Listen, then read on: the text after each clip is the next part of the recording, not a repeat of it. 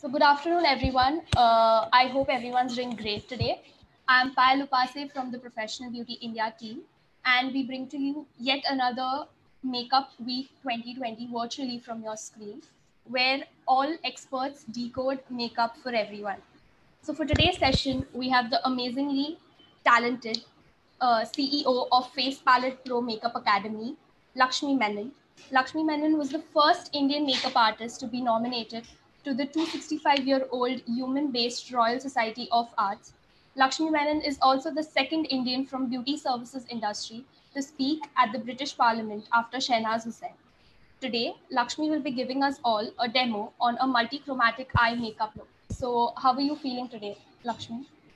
I'm feeling very excited, Payal. Thank you very much for that warm welcome. And thanks to Team Professional Beauty India for giving me this opportunity to do this class today. Uh, so you're all ready with your tools and your makeup Yes, absolutely. It's a bit, uh, you know, limited uh, because of uh, the containment zones and everything. But I've got the set uh, ready, and um, yeah, I'm ready to answer any of the questions that anybody may have. Yeah. All right. So uh, the audience can ask us questions in the comment section, which I will then uh, voice out to you, and then we can answer as it appears. All right. Perfect. So ready to go? Perfect.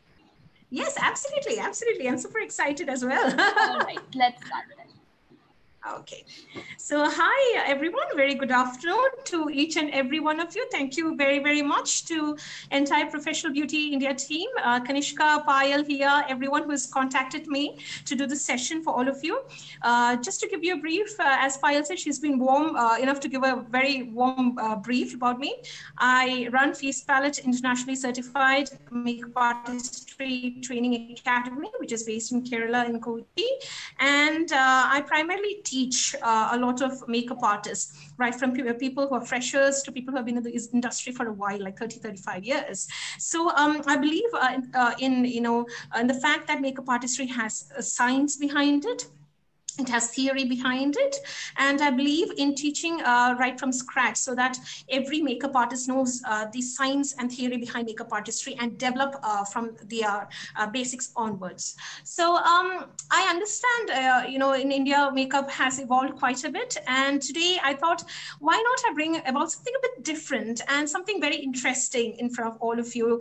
Uh, and i love teaching artists you know that's just primarily what i do. So i thought i'll teach you how to do multi-chromatic eye makeup routine, an entire routine. Now, uh, as I understand, a lot of people, uh, you know, when I train, I do sessions everywhere. Uh, people find it difficult to ask questions, uh, what they might think and what not. Uh, you know, I just want to put it forth and uh, just tell you that don't be apprehensive. You can ask me any question that you like.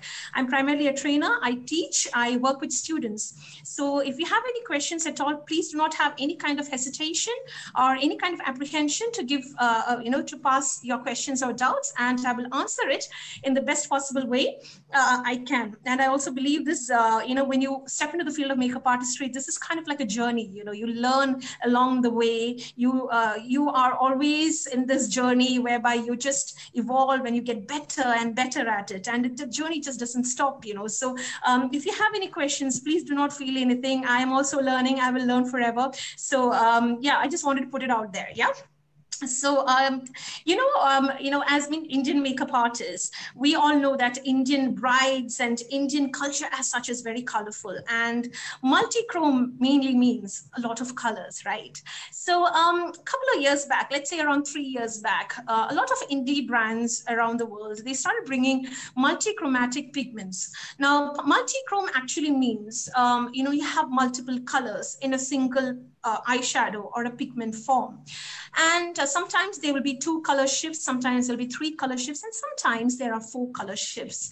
And they're absolutely gorgeous and absolutely beautiful. And we know as Indian makeup artists, we love to work with colors, right? Our uh, culture is colorful, our bridal wear is colorful, it's all flamboyance, and it's amazing. I love colors as well. As artists, we appreciate colors, and that's what artists are known for, right? Now, multi-chrome is all about colors. And uh, three years back, there were some indie brands, especially in the US and the UK, they actually brought um, a couple of multi-chromatic pigments And I started uh, bringing that to India as well. And I've been working with that. Now, in fact, in India, you have a couple of brands. It's just getting new to the market still. Uh, it's not widely known as well, but there are few indie brands uh, and small time brands that have brought uh, multichromatic pigments uh, to India. And I think it's important for artists to evolve and understand what is happening in the industry. These products are available and you can, uh, you should know how to work with it as well. And because you get all these colorful brides with amazing lehengas and amazing jewelry and why not, right?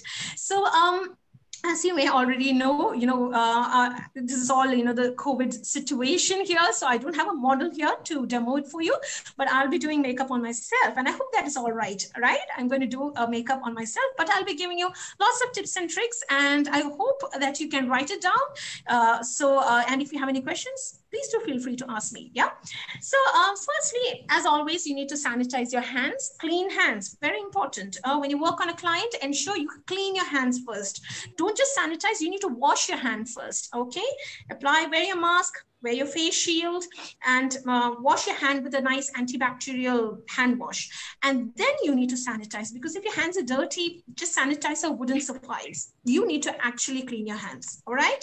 So my hands are clean. Before I just came here, I cleaned my hands and I'm just applying a bit of sanitizer and I'm just going to sanitize my hand. All right. Because we don't want bacteria anywhere on our makeup nor our hands. Yeah. So um, after cleaning and sanitizing your hands, uh, we have to prep our skin. And prepping skin is very, very important before makeup because uh, it uh, prepping your skin is, uh, you know, really, really matters. Uh, uh, you know, it really matters when it comes to make your makeup lasting longer. It also shows how the finish is, is, you know, like when somebody sees your makeup in daylight and in real life, it should look very nice and glowy and it should look very nice. I'm not talking about looking like a disco bulb. I'm talking about looking like skin-like finish, which is what is the actual meaning of high definition makeup you know like your skin should look very very nice but we also know as a matter of fact we don't get clients with good skin i have very acne prone skin I have combination skin and I have acne prone skin. And this is a dilemma a lot of makeup artists face when you work in the field. You get people with different kind of skin, different chemistry, different allergy situations. We have different, different issues when it comes to clients. But the problem, what I've seen with a lot of makeup artists is you learn from one to 10 and you apply one to 10 on every single client. That's not how it works. You have to study your client's skin first and what will work for that particular client. What will work for their skin? What will work for their face? And uh, let, let me give you an example. Like you learn contouring it doesn't mean that you have to apply contouring every single time on every single client. Study the feature, facial features, study the skin, um, uh, you know, texture, uh, study skin as such and uh, skin type as such, and then work accordingly, right? Now, to give you a brief, my skin is combination skin. Uh, it tends to get very oily during summertime, and it's quite some, you know, I live in Kerala. It's very hot and humid, and uh, my skin gets really oily. I have a lot of pores. I have a bit of texture on my skin. I have a little bit of pigmentation, which is on the, uh, you know, I have like like a bit of five o'clock shadow here. Not much, little bit, but I have, I am very acne prone. I get a lot of acne and goes into scars. So, um, what I am going to do is prep my skin according to that. Now my skin is clean. Uh, the best way to clean your skin is use a face wash. Just use a normal face wash that is not too drying on your face, preferably sulfate-free face wash so that it just doesn't strip your skin and make your skin uh, dehydrated and dry. So just clean with a good face wash. If you do not have a face wash, you can very well use a wipe, but try and use wipes which are alcohol free uh, fragrance free and they are biodegradable. I don't like wipes because most of them are not biodegradable but if you want to use wipe as an artist because we have locations and shoots and everything like that uh, you can use wipes uh, depending on the circumstance. But if you're using try and ensure you use a biodegradable wipe yeah all right. Now, once your skin is clean, then you have to tone your skin, right? Now, what does toning do? Toning basically puts moisture back into your skin. It hydrates your skin and brings uh, moisture back into your skin because we know uh, one of the primary functions of skin is to store water. And if you don't uh, give uh, moisture back into your skin, your skin will be dehydrated. So you need to give moisture back into skin. And for that, toning is the best way. You can use any kind of hydrating toners. Personally, I love uh, using steam distilled rose water. Uh, this is from Kanauj. Uh, this is from Kanauj roses because they are the best quality roses here in uh, India. So uh, the one I use is from um, Shesha Beauty, and this is the pure rose water, but it should be steam distilled. Don't use you know there are a lot of rose waters available in the market which purely contain fragrance of roses and no properties and minerals of roses so you can get something which is steam distilled yeah so just take a spray bottle, don't use a cotton pad, just take a spray bottle and just close your eyes and just spray. On the client as well. Now, when it comes to client and when you work as a makeup artist, uh, when you use rose water, ensure that your client is not allergic to roses uh, and also any kind of flowers. There are a lot of um, artists who are, you know, a lot of our clients are allergic to flowers as well. So you can use any kind of hydrating toner, but provided uh, rose, rose is very nice, invigorating. rose, the smell is very nice, but uh, you should ensure that none of the client has allergic skin allergy to roses yeah close your eyes and just spray the bot uh, spray the toner right? And just let it sit. Just let it uh, absorb into your skin you know just give it time. Just two minutes it just absorbs into your skin. Um, also um, you know I think you, if you can try and tone everybody's skin, uh, don't skip that step because it really makes a difference when it comes to the entire finish and outcome of how your makeup looks. Um, another thing is a lot of artists I've seen they use cotton pads to use toners. The problem with cotton pads is that it by itself um, absorbs a lot of um, in a product, so you kind of waste a lot of product. So I think it's always better if you can get a spray bottle, uh, use that. That's the most ideal way and um, we'll just let it absorb into the skin. So if you have any questions in between, you can very well ask me and I'll be happy to answer them for you, right? And uh, as such, um, I've worn lenses today. I've worn green lenses because today I'm going to do a green tone to multi-chrome. So um, I thought, why not I wear green lenses? Um, so um, yeah, we're going to do a heavy eye makeup routine today, right? Uh, so and Lekshmi, uh, the one question that we have for you is what tips mm -hmm. would you give uh, for a makeup artist to achieve a flawless base? Makeup artist who would give? Sorry i didn't hear the whole thing. Uh, so what tips would you give a makeup artist to achieve mm-hmm. a flawless base on their client See, one thing, the key to achieving a flawless basis, is firstly, understand and study the client's skin. What texture do your uh, client's skin have? Like, do they have acne scars? Do they have uh, any kind of, um, you know, dryness in their skin, dry patches in their skin? So you have to study your client's skin first.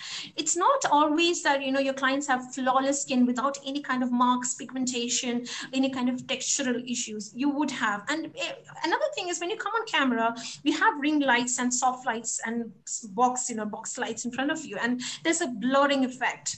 But understand when you go in daylight, it's not very forgiving. so you will see all these things out.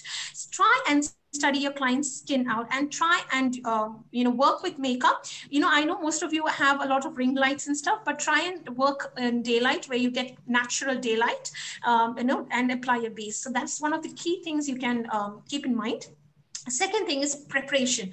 Prepping your skin is very, very important because that provides moisture and that provides uh, nourishment to your skin. Let's let's take for us uh, take an example. For example, um, let's say you're dry or you're let's say you're hungry and thirsty right you're hungry and thirsty and uh, imagine that you have you see a plate full of, full of food and water right in front of you and you're starving you're hungry and automatically you will just, you know, as a reflex action, you will automatically take that food and water, you'll eat it, right? You're hungry, you're craving for food, and you're you're thirsty. This is the same thing what happens to skin as well. If you cleanse it and if you do not prep it really well, where you don't provide it with water and you do not provide it with nourishment, that is your moisturizer, it will automatically absorb stuff from the foundation that you apply it may look nice initially but what happens is eventually like after a couple of hours you will see that your foundation will look patchy it can look dry and um, it kind of uh, you know it kind of cracks from places where you have all these dryness and flakiness. So it's always important that you prep your skin really well on the client and then proceed into your makeup. Now, when it comes to makeup or applying your base as well, do not paint your face. Like I've seen a number of artists just camouflaging and putting an entire paint like thing on the face.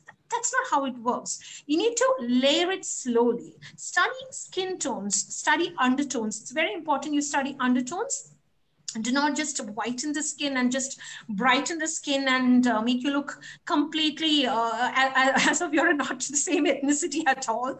So I believe uh, makeup artistry is all about embracing skin tones and working uh, with the natural beauty of your client. And we appreciate each and every client for who they are and what they are. So um, I think uh, one of the critical, uh, you know, most important part as a makeup artist is to study undertones. You have to understand because Indian Indian skin is very tricky when it comes to undertones. So it's very important you study undertones and work according to undertones as well. Another very important uh, thing that you have to understand when it comes to working uh, in a country like India, where it's kind of tropical weather, is you have to see whether the makeup that you do stands in heat that's also very important uh, to have that kind of flawless look. So uh, these are points that you have to keep in mind. Study your client's skin, prep your skin, uh, client's skin very well. Ensure that your client's undertone matches uh, when you apply the base. Do not apply full coverage just because you like applying full coverage and the client might not need full coverage uh, foundation. So you have to study whether that, do my client need full coverage? Medium coverage might suffice. So you, that's how you achieve a flawless base. And um, also ensure you keep in mind the circumstance and the surroundings of where your client might be uh, visiting or the bridal uh, event is going to be or the reception is going to be. So e these things matter as well because foundations uh, eventually sometimes oxidize. So these things has to matter as well. So, um, you know, it's I always advise artists uh, to, uh, you know, do a trial if possible, uh, do a trial on a, a bride because uh, unlike any shoot or a fashion show that we do, uh, you know the, the, the, you know the makeup need, need, not last the entire day. Uh, bridal work may have to last the entire day. So especially for South Indian brides, I think you know we do sometimes uh, makeup at early morning at five o'clock and four o'clock, and the bride might remove at ten or eleven o'clock at night. So it has to last the entire day. So it's always important as an artist we do a trial for the base. Um, you know, that will really help you to be confident uh, with uh, the work that you do on uh, the D-Day. Yeah. I hope that answered. yeah, that was great. Oh, we can start with the demo now. Right. Okay. So I'm uh, my tone has absorbed uh, completely into the skin. As you can see, there are no, no, droplets on my face. It's completely absorbed. And I'm going to take a moisturizer. And very important, you have to moisturize skin, irrespective of uh, your client's skin type. Now I'm going to take Simple's Light Moisturizer. It's a very good moisturizer that you get in India and it's made in UK. It's very affordable. You can get it anywhere. It's a very lightweight moisturizer. And this is perfect if you are going to prep skin for oily skin, combination skin, and even for normal skin. And uh, even uh, you can prep, uh, use this moisturizer for humid weather. Like if you are in South India or in humid temperatures, you can very well use this moisturizer, right? Now, if you have a, a, client who has dry skin, try and use uh, Embryolisse cream. Embryolisse does a very good moisturizer that is perfect for people who have very uh, a lot of dry patches and dry skin. Yeah, and I'm going to take a little bit of moisturizer and just dab it all over my face and just going to gently push it in. And let's see, uh, we generally get dryness around the nose area. I get red there and also around the mouth area. So I'm just going to gently massage it in. Uh, you don't do like that. You don't massage like this, you know, use your palms and moisture. You don't do that. Just use your fingertips and just dab and push it into your skin. And that's the most important thing, you know, even for your clients, just push it into their skin, just dab. Dabbing motion is the most important, right? Just dab, just dab and take a little bit more and put it on the neck as well. Neck is very important. Many artists uh, fail to uh, moisturize the neck area. We kind of um, uh, fail to do that, but it's important that you uh, moisturize the neck area as well. All right. Okay, just dab, just dab. That will do the job. Your skin as such is a very intelligent organ. It will absorb everything. It'll bring it in. All right many artists kind of fail to uh, realize that skin is an organ and it is a very, very intelligent organ. We kind of give preference to every other organ in our body, heart and lungs and kidney and whatnot, but uh, we kind of fail to realize that skin is an organ we see every single day uh, in the mirror, but it's a very intelligent organ. So um, it has uh, its own functionalities and properties. So we have to consider that. most uh, of the artists, uh, you know, you, you, you need skin like a dough, like an atta. Don't do that. Just dab. That's, that's all that is required, right? Okay. Now what I'm going to do is I'm going to uh, prep the lips as well because by the time the makeup routine is over, we need to uh, have good lips, like supple lips. So we don't want any kind of dry patches. So I'm going to use uh, a lip balm. Any kind of lip balm will do. This is from Dr. PAWPAW. Um, any kind of lip balm will do. All right. So just going to prep my lips as well. This is kind of like a tinted uh, lip balm. So um, it's really, really nice um, and it absorbs into the lips really, really well. So by the time our routine is over, lip routine starts, it, it just absorbs into the lips, yeah? So, um, and again, next step is eye serum. You need to prep under your eyes, client's eyes. It's the most thinnest uh, skin area and it uh, doesn't have any kind of sebaceous glands. So it tends to be very, um, it you get fine lines there first you know. You get textural issues you get dryness there. So you need to always prep under your eyes. The one that i'm going to use um, is from revolution. It's this caffeine serum. You can use any kind of eye serum. Uh, you have from ordinary the eye serum which is fantastic. You can use the revolution eye serum as well. It's really nice to deep depuff under your eyes. And i'm just going to take it in the uh, ring finger and just slowly dab under my eyes you know so that by the time uh, I reach the concealer stage, it doesn't crease and it doesn't, uh, you know, give me any textural issues. Right. So I just use my ring finger because, uh, you know, this finger doesn't have a lot of pressure. So we don't want to apply too much pressure under your eyes. So we have just gently dabbed. A lot of people apply um, eye cream, eye serums on the eyelid. Don't do that. Your eyeshadows will crease eventually, right? So uh, I hope uh, you understood how to prep the skin uh, for your client. Now, um, I'm going to show you some multi-chrome pigments that you can purchase. The one that I have, this is from a brand called JD Glow. JD Glow is a US-based indie brand, which is a small-time brands are called indie brands. They are perfect when it comes to eyeshadow pigments and all that kind of stuff. So if you're looking for uh, importing any kind of uh, good eyeshadow pigments. Jd glow is amazing. I've used uh, a couple of them for years you know they've I've kept repurchasing from them and it's amazing. They kind of uh, uh started off with the multi-chrome uh, you know the hype and it's amazing. So uh, the one that i'm going to use this is um, a multi-chrome color. Um, it shifts from light to light. I don't know whether you, because I have a ring light here, I don't know whether you can pick it up, but this kind of goes from purple uh, it goes to green. So in different lighting, it goes from different, different, different colors. So it looks green because there's a light here in front, but when it goes to sunlight, I don't know whether you can see, there's a nice purple tone there. So when you apply this pigment, it go when you shift your face from to and fro, your, your eyes will uh, show different kind of colors. You know the saris where you get the duochromatic routines and stuff? So that's the same thing. Um, that's an eyeshadow form. That's called multi-chromes, right? Now this is a pressed uh, multi-chrome. This is a pressed one. You also get pigments um, in bottles, you know, if you want, you can use that. There are different kind of multi-chromes you can get in the market. Some brands do two or three uh, multi-chromes. Some of them do 10 and 15 colors. So it just depends. So this is another one which looks pink, but in other uh, lighting, it shows green, uh, you know, green and bronze. So it's a very, very pretty um, multi-chrome. Another one.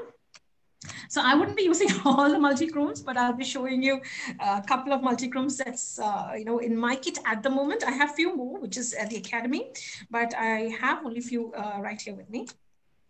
So this is another multi-chrome. As you can see, this is kind of like a pinky tone, which goes, shifts into like a uh, khaki green color. So it's, and it has a little bit of purple as well. Again, uh, you know, a very pretty multi-chrome. Now, they have different different tones. They have blues and golds and bronzes. So you can use and pick up whatever you like. Now in india there's a brand called europe girl. They have actually brought pigments uh, from um, multichromatic pigments. So if you um, want to purchase you can very well try and purchase from europe girl. It's not very expensive. I think it's like thousand bucks or something. So it's available in india right? And as uh, many of you artists may know, there is a brand called Natasha Denona, which is a very popular uh, brand, and they have brought multi-chrome uh, liquid eyeshadows as well very recently, and uh, uh, you know that's very pretty as well. So it's a little more on the expensive side because Natasha Denona is a high-end uh, brand. She's a very famous makeup artist based in US, and she has brought liquid eyeshadows which have multi-chrome shifts. So um, as artists, you can work and you can um, develop and evolve from what you know. You know, you can try using different products. Why not? Yeah. So, anyways, I'm going to start with my eye makeup. And uh, because the eye makeup is going to be a little heavy and thick, I'm going to start with my eye makeup because we do, there will be fallout and multi-chromes generally have fallout. So we want to take it off, right? So I'm going to start with my eye makeup first. And uh, when you want uh, eye makeup to last longer, you need to apply an eyelid primer. Nevertheless, you need to apply an eyelid primer. I see a lot of makeup artists apply concealers.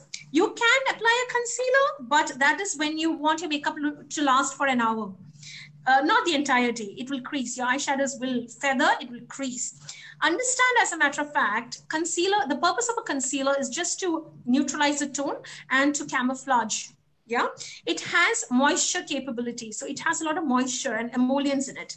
And if you apply it on the eyelid uh, your natural eyelid has oils and the, provided the moisture and the oils from your eyelid the eyeshadow will crease eventually right? So you need something that can block the oil from seeping through. So the uh, a primer would do the uh, job for you. Concealer wouldn't. Uh, if you're looking for a very simple routine where you just need to go out in an hour and come back or very simple um, shoot or something, that would be fine. But for bridal work, you can't uh, use a concealer, yeah? Right, even if you're set with a powder, that would not do. Your eyeshadow will again crease. I hope that helped, yeah? Now, uh, the primer and the base that I'm going to use is from a brand called P. Louise. And uh, this is slightly light color. You can use any kind of color because shadows are going to come on top. This is from P. Louise. The number is number, uh, the shade number is number two. It's a bit light for me, but that would do because I'm going to really uh, put some transition colors and all that. Uh, if you're looking for a nice um, base, you have Urban Decay, which does a very good primer portion.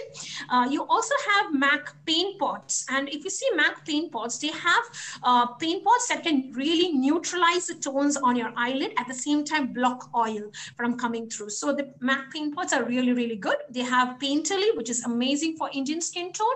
They also have soft ochre, which is also very, very nice for Indian skin tone, right? Anyways, uh, I do not have a lot of pigments, um, like a lot of uh, pigmented eyelids, but I'm just going to use the P. Louise base just to apply it and neutralize this entire tone and block oils because I get a lot of, uh, I have a lot of, uh, you know, oily lids. So I'm going to take a bit of P. Louise base on the back of my uh, hand. If you're a makeup artist, uh, try and use a steel palette. Um, you know, do not use the back of your hand. Try and use a steel palette. Uh, sanitize your palettes uh, and use your palettes and your spatula, right? Now I'm going to take a flat brush and just going to place this over my eyelid. As I said, the tone is slightly light for me, but I do not mind it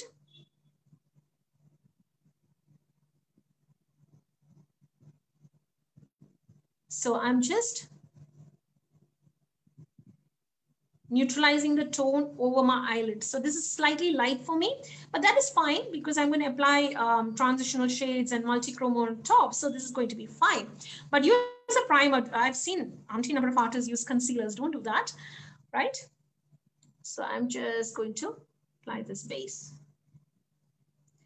And when you have a tacky base like this, you don't have to apply a powder. You don't need it. If you're a beginner at eyeshadow, I think you can set with a powder. But if you are quite good at blending and your blending skill is quite good, you don't need to set it with a powder. You don't need to apply texture over texture. So you don't need that.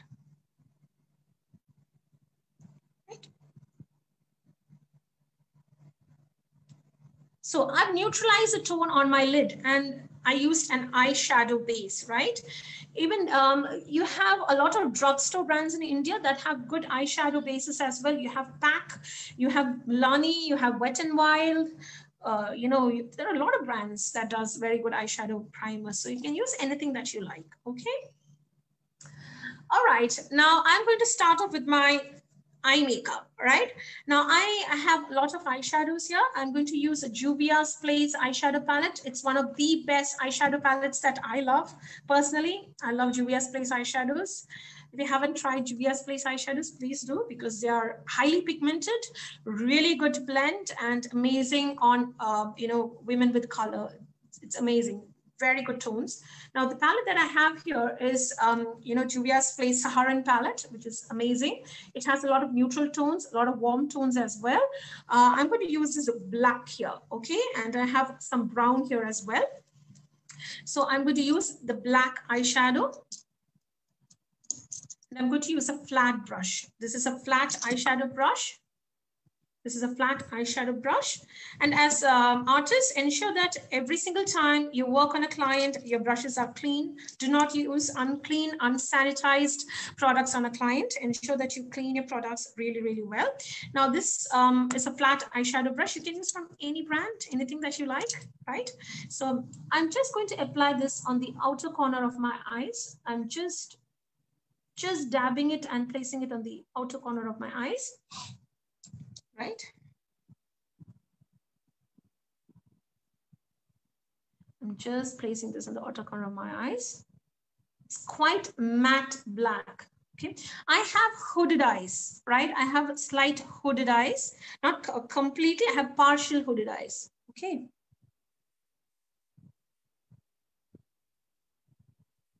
So you need to really uh, when you work with hooded eyes, you know, you, I hope you know what is hooded eyes. So when you work with hooded eyes, ensure that you really accentuate the crease area because that will make your eyes stand out. So you need to really, really accentuate the crease area. And don't drag the eyeshadow, just push and place the eyeshadow on the outer corner and ensure your eyeshadow do not go outside this angle. This is the angle by which you need to work your eyeshadows. Now, this is your entire eyelid area. If, you, if your eyeshadow goes below this area, it can make your eyes look droopy, all right? Now, I'm going to take a nice blending brush. I love blending brushes like these. Um, I'm going to use this and I'm going to take another eyeshadow. Just give me a second. Now, this is uh, one of my favorite eyeshadows from Juvia's again. This is the Masquerade palette. They have beautiful matte eyeshadows, beautiful colors. So if you're looking for a very good, highly pigmented uh, eyeshadow, go for this, yeah? And um, I'm going to use a bit of brown, a nice brown color, a warm brown. I'm just going to blend this black. Take a blending brush, okay? Take your eyeshadow in a blending brush. Do not blow on it. It's unhygienic. You need to take the eyeshadow, tap off. All right. And I'm going to really blend and buff this eyeshadow. All right.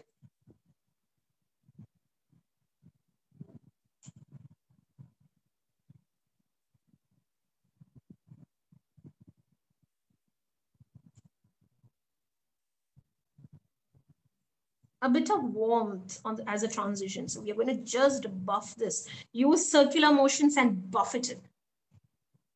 Always ensure, take your eyeshadow and tap off.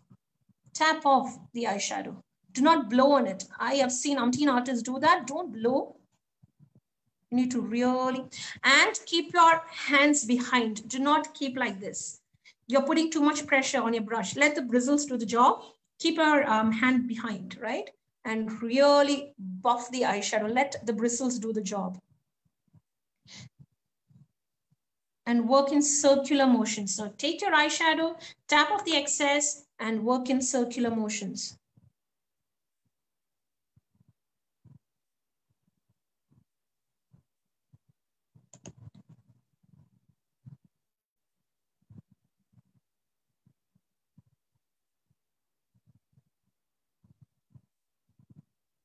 I've, uh, I also want to tell you, like, do not take a lot of eyeshadow and pop it here. You do not want to make this area sink in. You know, you want to bring it out. So you do not apply a lot of dark colors here. The only time when we use dark eyeshadow is from your eyelid on this side and use like when you do a halo eye routine, like a spotlight halo eye. Uh, so other than that, you don't use um, dark colors here always ensure when you uh, do your makeup uh, eyeshadows always go like light to dark. It always goes from light to dark. And always try and see it goes from shimmer to matte. So you can go for completely matte or completely shimmer as well. You can do that, but it's always better you go from shimmer to matte, right?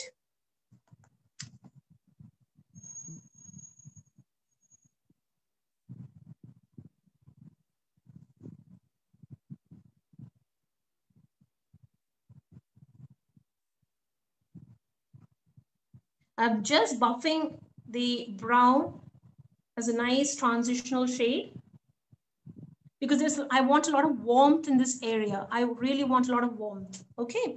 Now the multi-chrome that I'm going to be using today is, as I said, a green with a lot of purple shift. Now, what I'm going to do, the major color that you will see in this particular multi-chrome is green. Now, what I'm going to do is the shift is towards purple. Now, what I'm going to do is I'm going to take a bit more dark purple matte eyeshadow and blend it. This crease area has to be dark. Only then the multi-chrome will pop out, right? So I'm going to take purple, right? I'm going to take a nice purple eyeshadow. Give me a second. So I've used brown and I'm going to accentuate this crease area with a purple, like a deep purple color. So I'm going to take a pointed crease brush. This is mine, and that's the reason it has a bit of product. I can use it, but I uh, you have when you use on clients, ensure that it's clean. All right. Now the matte eyeshadow that I'm going to use, this is from Viseart. This is a Viseart palette. It's absolutely fantastic for makeup artists. They are supremely pigmented and easier to blend. You get it in India. All right, slightly expensive, but really, really worth the price if you're looking for a very good matte, colorful eyeshadow palette. I'm going to take this purple and I'm going to tap off the excess. I'm going to place this here. I'm going to place this in this area. I have hood, so it's slightly difficult because of the hooded area.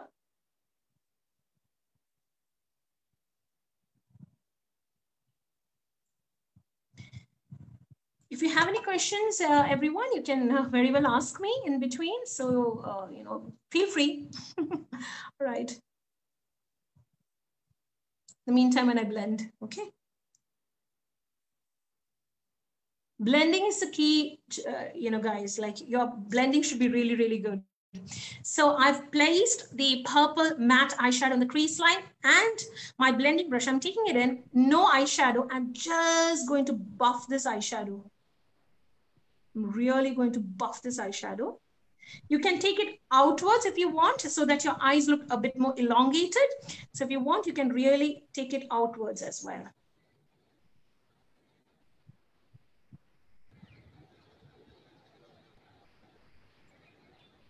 So as you can see, I've accentuated this crease area. Here I haven't accentuated. The reason I use purple, as I said, the multi-chrome, you have to always keep in mind when you use multi-chrome, the crease area is, should be dark. Only then the multi-chrome will pop out all right you don't have to do any cut crease or anything but your crease area should be a bit dark and the color that you can use you can use black or anything like that deeper colors but i always believe that when you see the shift in colors the there's a one prominent color which you see in daylight and there's another shift when you turn the eyeshadow. That shift color, take that eyeshadow, the shift color, and take matte form of that eyeshadow and place it deepen the crease area. And that's the trick when it comes to multi-chromes, right? Okay, now again, I'm you know just placing the purple on the crease area here. You might think it is difficult, but it's not. Trust me, it's not difficult. Uh, so Lekshmi, we have a question for you. Uh, mm-hmm. So the multi-chromatic look, the eye look, uh, mm-hmm. for what event would you suggest a makeup artist to uh, use this look on their client? Brides, reception. That's the best way because on stage it looks beautiful. When someone comes to wish the bride on stage or just to congratulate they will see the shift in colors and it's absolutely mesmerizing. So you can use it anytime. It's kind of like you can use it anytime but shoots we do not do uh, for shoots much because there's a, there's this shift in color. So i would recommend it for brides uh, for reception. Reception it looks amazing with the lehengas and colorful outfits. It looks beautiful. Great.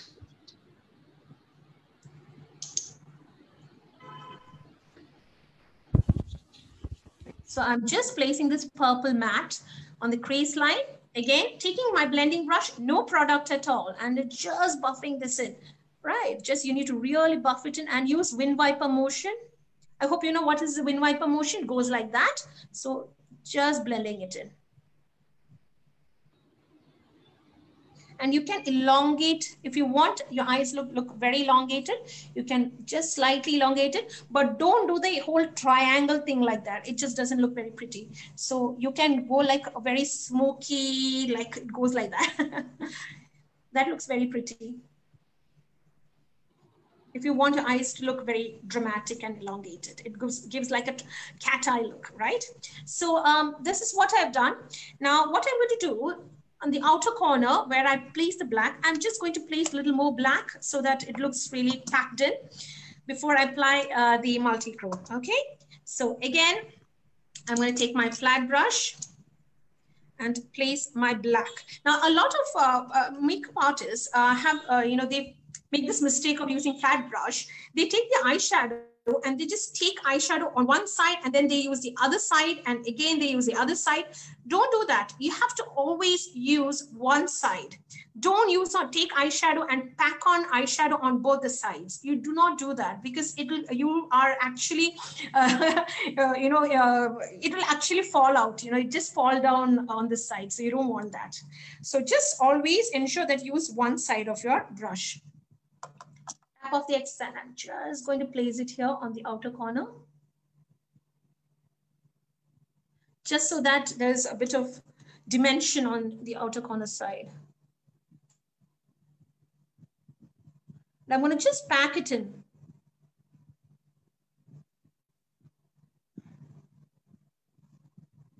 And I'm going to again take my blending brush. Second nice foofy blending brush. And I'm just going to, just in circular motion, just blend it in.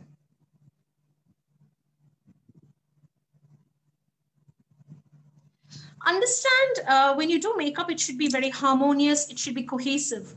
Uh, do not uh, just apply eyeshadow for the sake of applying eyeshadow. You need to ensure that it looks cohesive. It goes with the outfit. It goes with uh, the, uh, you know, the bride's personality, everything, you know. And there's a lot of sync between the eyeshadow, the blush, and the lip. It should look very harmonious, yeah?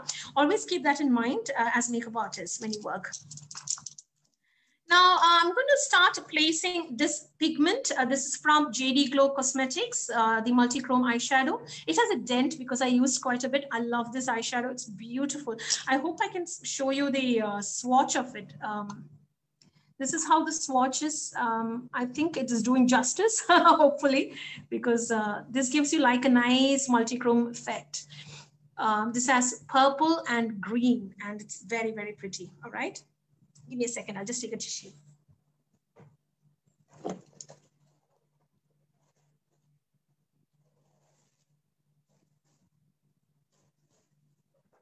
Okay.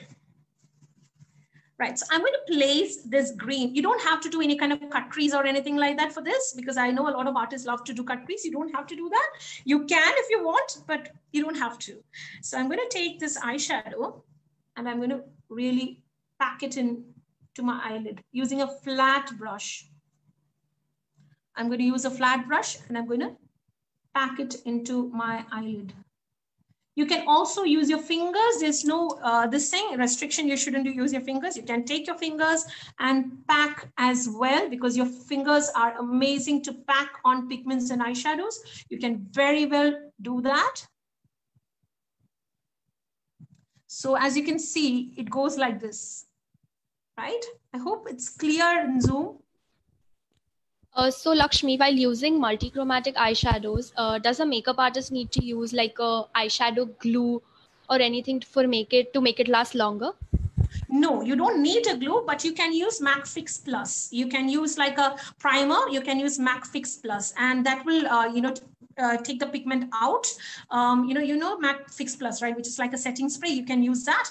Even Urban Decay has an all-nighter spray, which is also amazing, but you don't necessarily need that. You can have a nice dense flat brush and that will pick the pigment.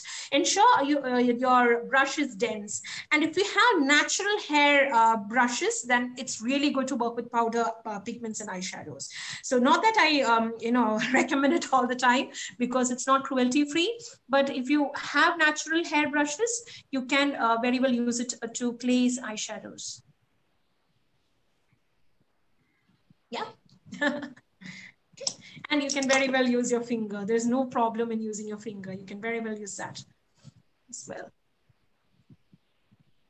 as you already know, like from uh, MAC, you have a lot of pigments. Uh, you get a lot of pigments from MAC. You have mini pigments, mini bottles. You have big, big uh, bottle pigments as well, which a lot of makeup artists use. It's on similar basis as well. So you can use Fix Plus, just wet your brush. You can actually put that in, or you can, because this is a pressed form. This is not a powder form. You can use your brush and use. But if you have a pigment, you can use it like any other pigment that you would use. Right? So I'm just blending this area up so that it looks very pretty.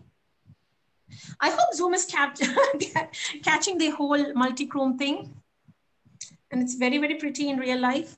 Yeah, we can camera. see it shift on camera. So it you can see the shift. Stunning right, right oh, oh, fantastic. Like, I hope can see the shift.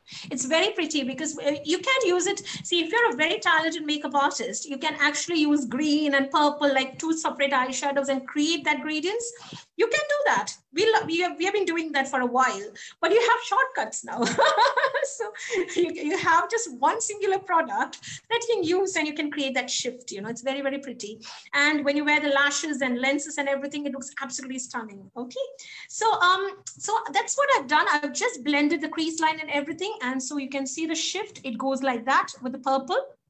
And uh, now let me finish the entire uh, base and uh, entire look. And uh, I, I, don't have a lot of fallout, but just in case, I'll just take a little bit of micellar water and just uh, give it a cleanse uh, under my eyelids, just in case if there is any kind of fallout, because multichromes fall out quite a bit. You can use shadow shields here. A lot of artists use powder, like, you know, uh, older times, you know, a lot of makeup artists used to place a lot of powder here and, you know, just to catch fallout. But I do not recommend it because it can make this area look very dry. So you don't need that. It just makes your textural issues worse. So you don't need that. Now let me take my cotton pad just to wipe under my eyes. So um, when you do very extensive eye makeup routines, you can just do your eye first and then do the base, yeah? So give me a second.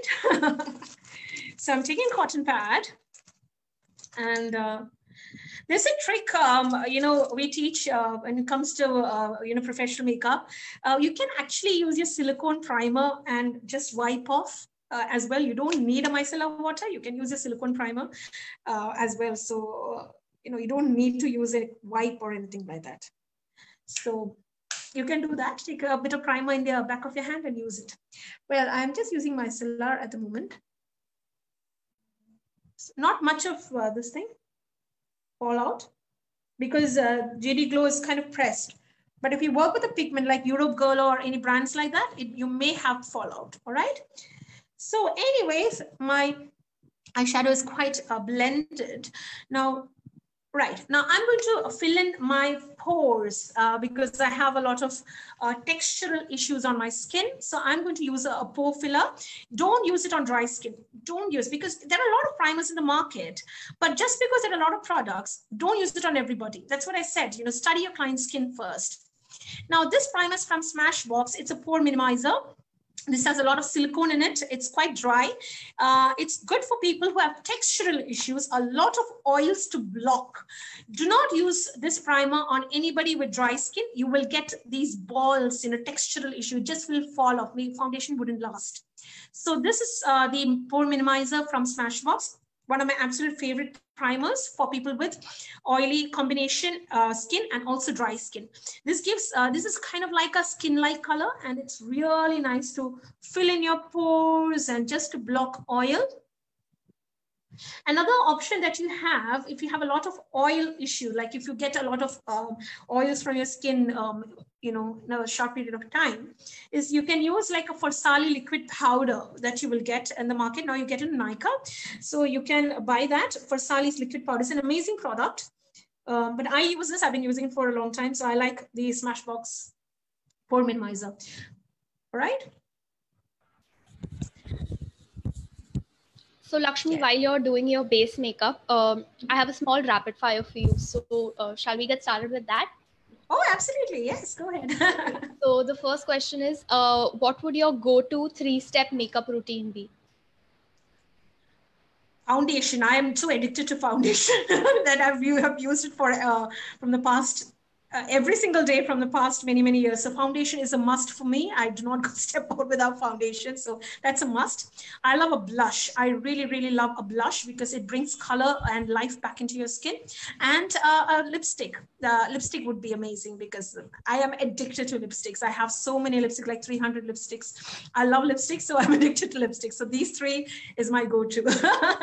All right. So the second question we have is what would you choose bold eyes or bold lips Oh, bold lips, please, because I love, as I said, I love lipsticks. It just takes, a, you know, just a few minutes to just dab it on and just run outdoors. So, uh, but I love eye makeup. But uh, yeah, it just depends on the time. I love both, but I would say lips because it's you can just do it any, any every single time. You know, you don't have okay. to. There's no fuss there. so, could you like quickly give us your top three favorite lipsticks since you love lipsticks? All right. Uh, okay, this is very tough for me. Very, very tough because I have like so many favorites. Um, one lipstick uh, I love is Stila. Uh, there's a brand called Stila, which I absolutely love. I've used for a very long time. They are kind of like the pioneers that started liquid lipsticks. So I love their shade Beso, which is a beautiful red. It suits everyone. Like everyone says about MAC Ruby Woo, for me, that's not my go-to red. It's just so drying and just, it, it just doesn't look I don't know, it's just not sharp enough for me. For me, I love Stila's Beso. It's just beautiful red. It's absolutely amazing. And it's a true red that suits every skin tone and it just brightens your face like no other's business. So it's, it's amazing. Another lipstick that I love is called Raisin Hell from Lime Crime. I really love Lime Crime, another lipstick brand which I absolutely adore. And Lime Crime's Raisin Hell has a, a bit of metallic shift to it. It's maroony with a bit of metallic shift, and it's absolutely gorgeous. And it suits like ethnic outfits when you wear a Kanchipuram sari or a nice lehenga, uh, a nice black outfit with this nice maroony metallic lip with a nice smoky eye was just sexy like hell. So uh, it's a very nice. It's not metallic to a, a, a to a very like um, it, it, doesn't look too metallic or glittery, but it looks absolutely gorgeous. Um, uh, and there are so many lipsticks like. and another lipstick, uh, a nude. I'll give you a nude lipstick that I love, and it's from MAC, and this is called Modesty, and I will purchase modesty for the rest of my life. I'll keep repurchasing because it's my go-to nude. It's so beautiful with a smoky eye. And when you wear a smoky eye or very sexy, sultry eye with a lot of glitter and a lot of oomph, I think modesty will just really dim this area down and just bring your eyes out. So modesty, perfect for uh, fair to medium skin tones beautiful nude. I absolutely love it. Today I'm going to demo Modesty for you. So I've kept it here. It's kind of like my go-to. So these are three colors. Okay, great. Uh, so uh, while talking about lipsticks, what's your preferred finish, matte or creme? Oh, matte. I'm a big time matteaholic. like I love matte lipsticks like anything because I think uh, creamy is very nice. Like glossy lips are very nice, but it doesn't last on me. Like especially with a mask on these days, you can't wear anything glossy and creamy. It just transfers. So matte and really sharp lip. I really like a nice uh, sharpened lip uh, jaw. I, I don't like to look very blunt on the lips. I really like to look very painted and very sharp. Great. Uh, so, uh, what is your favorite color palette? Would you go to neutral or the colorful side of uh, makeup? Mix. I think neutrals are very important. Uh, brights, as such, I love bright colors. I'm a big, big time colorful person. I love everything colorful. I love everything bright. But I think without neutrals, you cannot do anything because you need that neutral tones to uh, create transitions. You can do multiple things when you have neutrals. Brights, you kind of restricted. You do, you cannot do a lot of things with brights alone. So I think neutrals is very, very important. Okay, and uh, what is your favorite category for skincare products? Category in the sense? Uh, like, is your favorite go-to product, skincare product like a moisturizer, a lip balm, or a mask? What is it? So in that sense, I have a lot of favorites. Uh, now, um, I love La Roche-Posay. Uh, it's a very good uh, French French brand for their skincare, and it's amazing. Like they have amazing skincare from uh, La Roche-Posay. I also like uh, CeraVe. There's a brand called CeraVe, and they do amazing cleansers, and it's amazing for dry skin. They have it's not too stripping, it's not too drying. It will not harm your skin. I think most uh, of the time uh, people go wrong when it comes to skincare, you know, what brands they choose and whether the products they choose is good for their, their own skin. Now, as makeup artists, they need to have something very generic that will suit everything, doesn't have any kind of harm, harmful ingredients, nothing too drying and stripping. So CeraVe is a very good option if you're looking for very good uh, products. Now, I think uh, Simple is a very good job. You know, it's a very affordable brand I've used for a very long time. I was living in the UK, so I've been using Simple ever since I've been living in the UK, and now uh, luckily it's available in India. So, very very good products. Um, I also love Dr. Jarts There's a brand called Dr. Jarts and they do amazing skincare, but unfortunately it's not available in India. In India, there, are so many indie skincare brands now. They do amazing jobs, uh, job. Like you have Dr. Sheth's. It's really nice uh, when it comes to your daily exfoliating uh, toners and uh, serums and everything. They're amazing, Dr. Sheth's there's another brand called uh, Shesha Beauty, which I've been uh, loving the past two months or so because Shesha Beauty does a lot of natural based ingredients, you know, not a lot of, uh, uh, not that I'm against chemicals because as human beings, I believe we are composed of a lot of chemicals. So I don't think chemical as such or natural as such is going to be good for you, but they do a very good job with your skincare. So I really like uh, Shesha Beauty, um, you know, when it comes to their masks, they do very good, um, you know, your daily masks and all that kind of stuff. So I really love Shesha Beauty. Um, and for lip care, I love uh, Laneige. They have their nice sleeping lip mask, which is amazing. And nothing better than good old ghee for your lip. I think ghee is amazing for your lip. Also, good extra virgin coconut oil. You have good extra virgin coconut oil, uh, you know, that will do the job to get your lip up and ready for any kind of uh, uh, lipstick that you need to wear. So, yeah. yeah. So, the last question is one uh, makeup error that you just can't agree with like maybe too much too cakey skin or uh, patchy makeup. So what is the one thing that just you detest in makeup? Like the one makeup faux pas that you have uh, I have quite a few actually, but I'll tell you one. One is baking, uh, baking technique. I've seen, see, the thing is, we live in one of those worlds where we see a lot of influencers and YouTube, and we see a lot of uh, unrealistic stuff on Instagram as well, because there's a lot of editing that goes behind it. There's a lot of camera, there's a lot of uh, soft lights in front of them. But when you work as an artist, you have to ensure that your makeup is a game changer in daylight. It's very important for your makeup to look nice in daylight and on camera. It's not just one or the other. You have, it has to look on both the schemes. Like it has to look beautiful in daylight and it has to look beautiful on camera. So it has to be blended. And one thing I see is people do not, uh, you know, you, a lot of baking techniques and a lot of brands that promote their products by promoting baking technique. Now, I, am not against baking technique. It was used in drag makeup many, many years back. I love drag makeup, but it doesn't work all the time. Powders you shouldn't overuse powders. Powders absorb moisture. It creates texture. And in real life, you will see these lines and texture that might not exist at all in your skin. So I think uh, one of those things that I've seen is people, uh, you know, like baking under the jawline and uh, under your contour and under the eyes. And you just too, use too much powder don't do that. You just don't need so much concealer. You don't need so much powder. You don't need a lot of color correction. I see people who color correct like no one's business. You don't need so much color correction. The foundations and the base products have coverage. They have pigments. It is meant to camouflage. You use color correction when your skin or your client's skin require it. When you have a lot of pigmentation issues you have melasma you work on a burn victim you have uh, an aged, uh, you know, somebody who's got mature skin and a lot of dark circles. Uh, even that's the situation when you use a lot of color correction, or if you have someone who have got a lot of hyperpigmentation, like a different tone altogether uh, around the mouth, and maybe a lot of sun damage on the forehead. You know, they go in the two wheeler and stuff. So that is when you use a lot of color correction. You don't use color correction every single time you work on a bride. You don't need it. okay, so great. Uh, so we can finish up the base makeup now. Yes, absolutely. I hope this was uh, helpful. Yeah. Very helpful. I'm sure the audience uh, got a few tips and tricks that they needed to hear. Perfect. Sounds great. so, uh, guys, so I've used this primer and I did apply on this area of my face because, as I said, I have combination skin and I don't need primer on this side. I really don't need it. I have used primarily on my nose where I get really oily.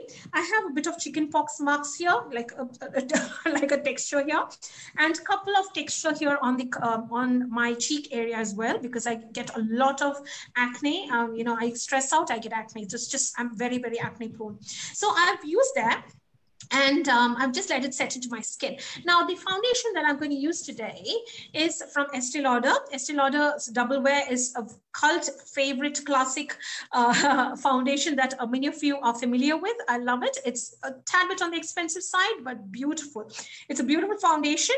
It's a little heavy, full coverage. It gives you like a matte finish right it gives you a nice soft matte finish now um uh, you know i know a lot of artists use huda beauty I, I know like people love huda beauty and i i agree like huda beauty is a very good foundation you can use Huda Beauty's beauty as well. Perfect foundation when you work uh, for as a makeup artist, but do not use this on sensitive skin. It's highly fragranced. It's so perfumed, so do not use it on clients who are have any kind of who are prone to any kind of sensitivity because it can give rise to rashes, can give rise to uh, you know like bumps on their face and stuff, redness and any kind of itchiness because it's very potent. It's dunked in fragrance, so do not use it. I know a lot of people love uh, Beauty, so that's the reason I thought um, I'll let you know. Now to talk about my skin tone as such. Now I have uh, warm, leaning a little bit neutral uh, undertones. Now, if you've studied about undertones, you know very well that um, you know, when you work, uh, you have three different types of undertones. You have warm undertone, you have cool undertone, you have neutral undertone.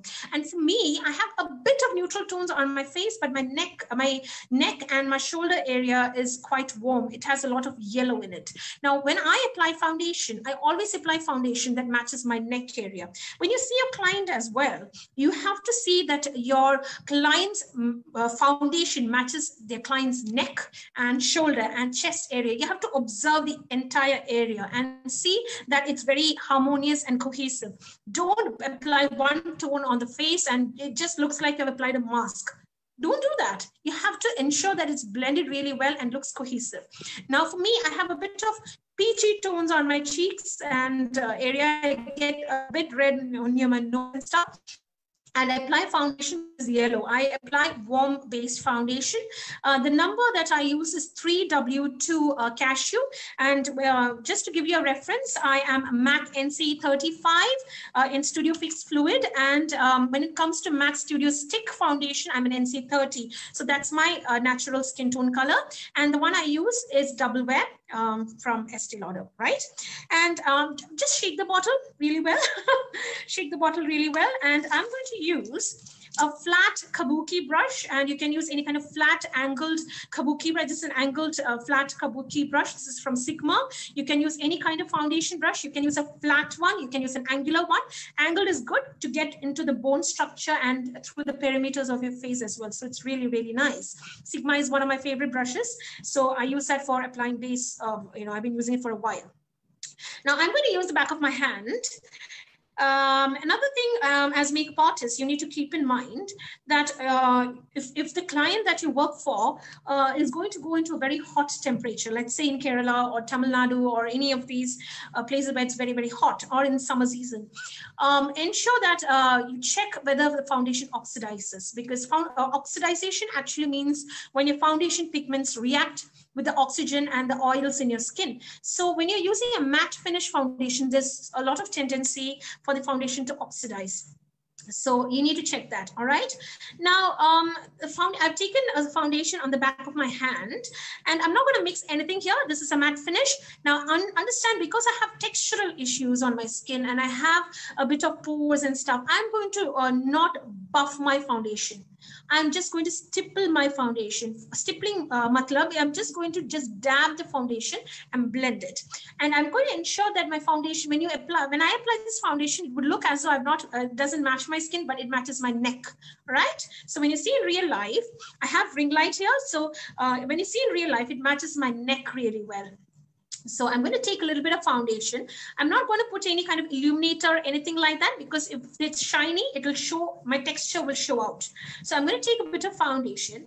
I'm going to work from the inside part of my face and I'm not going to buff. I'm going to just stipple because I have a layer of primer underneath. You don't want your foundation and primer to move. So that is the thing with color corrector as well. I see a lot of artists work with color corrector and just buff foundation on top. Do not do that. You need to always stipple your foundation and do not apply foundation under your eyes. You do not have to apply foundation under your eyes.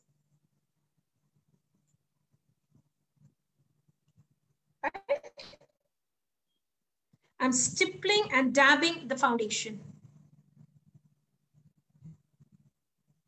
If I use anything shiny here, this is going to show out. In real life, in daylight, it will show out. It's as simple as that because daylight is not forgiving.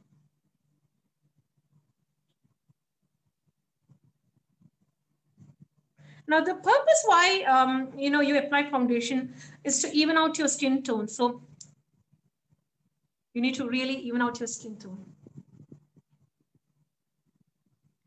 I'm just stippling the foundation I'm taking little by little and stippling the foundation. I need more coverage in this area because I have acne. I just had a breakout season now. So, so I have acne there. Now to all those makeup artists who are watching, when you use a beauty sponge, I know a lot of uh, you love using beauty sponges. Now it's a coronavirus season. I do not recommend using a beauty sponge because it's considered to be very, very unhygienic.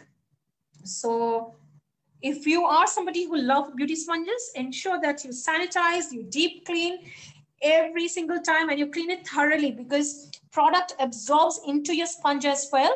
And do not forget beauty sponges expire every three months. So that's something you need to very well keep in mind. All right. As you see, I'm actually dabbing the foundation and applying it to my neck as well.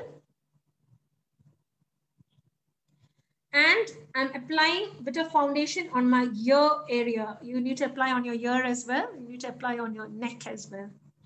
Okay. Now it's very, very normal when you apply foundation, you look a bit blank and flat because you lose dimensions in your skin. You use all the bone structure and shadowy area and the light area and everything. You look like a plain blank canvas and that's just very normal. I know many of your makeup artists understand what I mean. so ensure you apply in the ear area as well, right? Take your time with your base. If your base goes for a toss, everything goes for a toss. Do not apply anything under the eyes. Don't. You do not, do not apply anything under the eyes. You're going to go for a concealer, so you don't need foundation there. Do not layer uh, products unnecessarily, right?